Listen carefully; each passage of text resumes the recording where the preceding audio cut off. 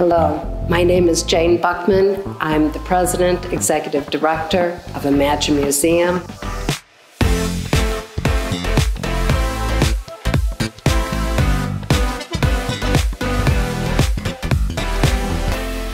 When you come here, you'll experience uh, 19 galleries just filled with contemporary glass art from all over the world.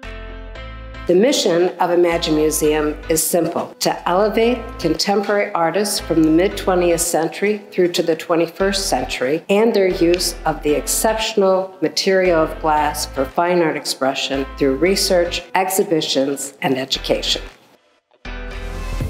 In the beginning of the 60s, artists in America and around the world began to experiment with glass as a fine art medium.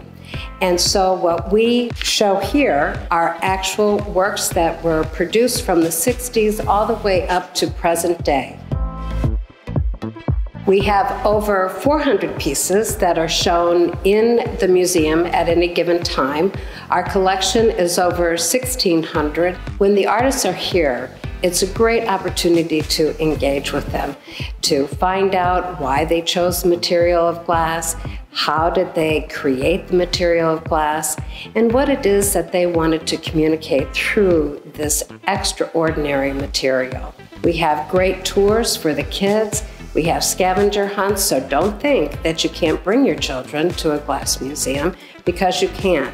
We have a curated museum store where you will find beautiful jewelry and other treasures, again, all made from glass. So please bring the family, bring your relatives, bring your visitors.